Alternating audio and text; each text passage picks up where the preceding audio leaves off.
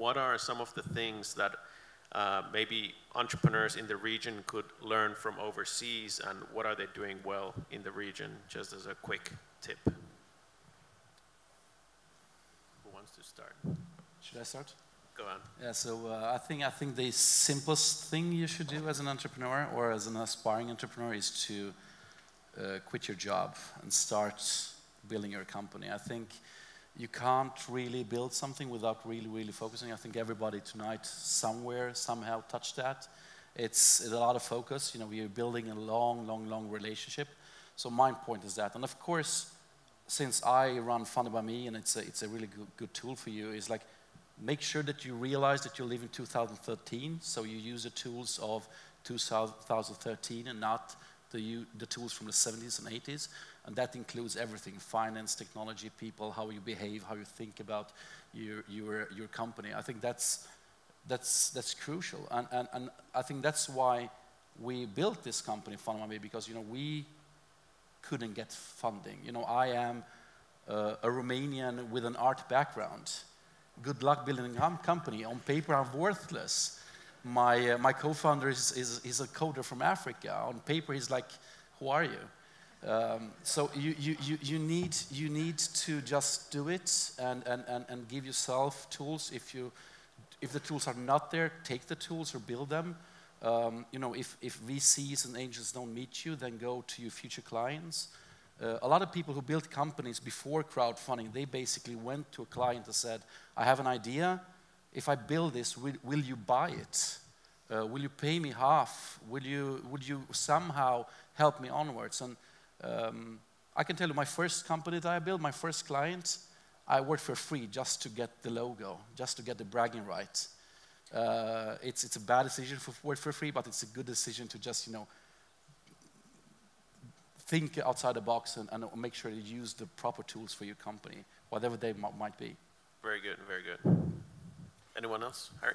Um, I, uh, I would say and the ambition level of uh, the American entrepreneurs that I meet.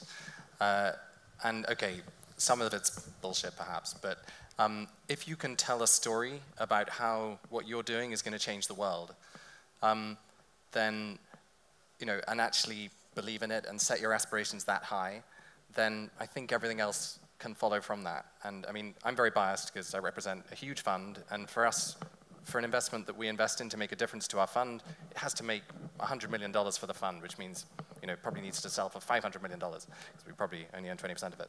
Uh, and, uh, uh, and so we're, we're biased. We're looking for the, the MySQLs that, that shoot it out of the park, the Betfairs, the Bebos, the Wongas, the, the, the, the, companies that do have these great ambitions that a billion isn't enough, that, you know, I'm not going to sell for 20 million, 50 million. And that, that's, that's the European disease, is that because we live in nice, comfortable societies with great schools and hospitals and lovely beaches and all that kind of thing, we, we, we, we're, we're happy with, great, I've got my nice house in the country, that's enough, rather than we're not happy to have changed the world and built a company that's going to last, you know, generations.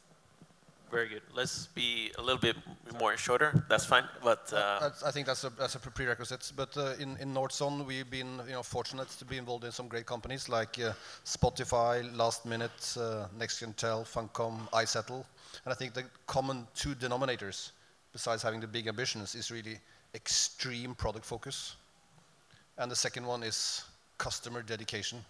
That they're, they're, they're putting themselves in the customer seat and say, you know, is this something that I really, really, really want myself? Would I use it, or would my you know, daughters use it? Would my friends use it? So they always think in that it's not about the product technology, but it's about the value proposition towards the customers. And I think all those companies that I mentioned and many more successful companies have that in their mind.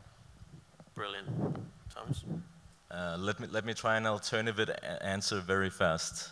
Um, Linux, MySQL, Git, Rails, PHP, Skype, Varnish, Spotify, Zendesk, 37 Signals, Podio, uh, Supercell, Rovio. I mean, I don't think we have a lot to learn. if when I'm talking with guys in Berlin, I'm doing this drill and I'm probably, uh, I can remember more of all the companies, and I'm like, hey, we fucking built the internet. I mean, every time you hit facebook.com, you're running on Nordic shit. I mean, you know.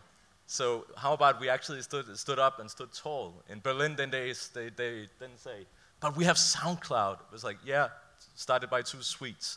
Uh, you know, so I mean, I don't think we have a lot, to, I mean, obviously we always have a lot to learn, but I mean, it's time to actually stand tall. The numbers you spoke about demonstrates it. And we are fucking building amazing stuff on a global level. We're 20 million people. But I mean, we're doing more stuff than Germany are doing with 80 million people. We're doing more stuff than the UK are doing.